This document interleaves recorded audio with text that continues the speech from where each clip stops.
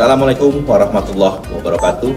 Izinkan kami dalam kesempatan ini mengucapkan selamat Hari Raya Idul Fitri 1445 Hijriah bagi seluruh umat muslim Sumatera Barat, baik yang ada di ranah maupun yang di rantau.